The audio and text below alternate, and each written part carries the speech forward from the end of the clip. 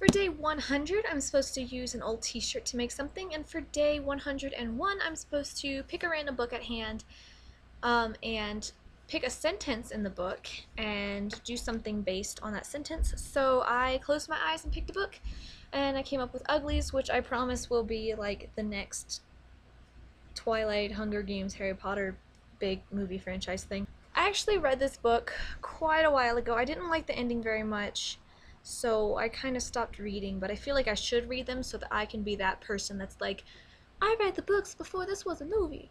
So anyway, I'm going to flip open the book, and here I am waiting for David. I have no idea what that's talking about because I don't remember this book at all. So I'm going to go in this chapter, kind of go a few pages in.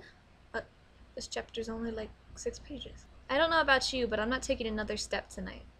So obviously, Tally and Shay are pretty tired, so I'm going to do something about being tired. And I somehow got mixed up with my days, and because it's a leap year, I'm actually a day behind.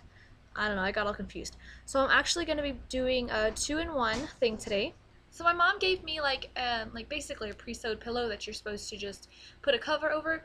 So I um, took her advice in not sewing. Part of the pillowcase tucks in to the back and the other part kind of loose there on the end. So this is the old t-shirt that I decided to use. It's an old Miley Cyrus shirt and it says Cheers and it's kind of cute because it's like, you know, the pillow's wearing a t-shirt. And I can take it off anytime I want, switch it out, or, you know, sew it up if I really want to.